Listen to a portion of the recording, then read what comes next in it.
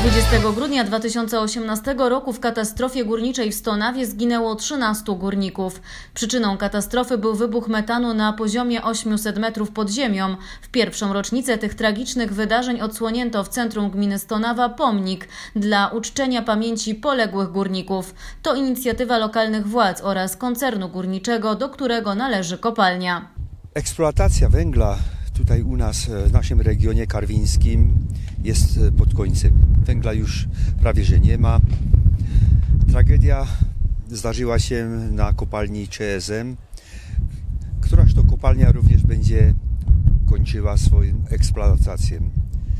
I spółką akcyjną doszliśmy do wniosku, że nie byłoby stosowne pomnik, rzeźbę budować e, pod tą kopalnią, która za 10 lat może nie istnieć i ten pomnik, ten monument zostałby tam osamotniony. Natomiast tutaj, w centrum gminy, w pobliżu e, boiska dziecięcego jest żywy. Ciągle ktoś będzie się tutaj kręcił, ciągle ktoś będzie wspominał i e, będzie nostalgicznie wspominał na to, że Stonawa zawsze była związana z węglem, że były miłe chwile, lecz również niektóre tragedie. Ten pomnik, ta łezka nabrała teraz innego znaczenia. Tak. E, dużo zastanowiliśmy się nad tym, e, jaki monument tutaj wybudować. Mieliśmy szczęście.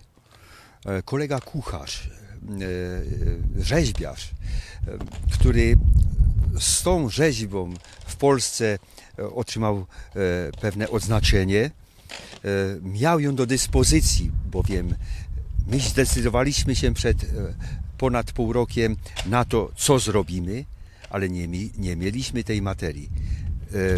Przypadek nam pomógł.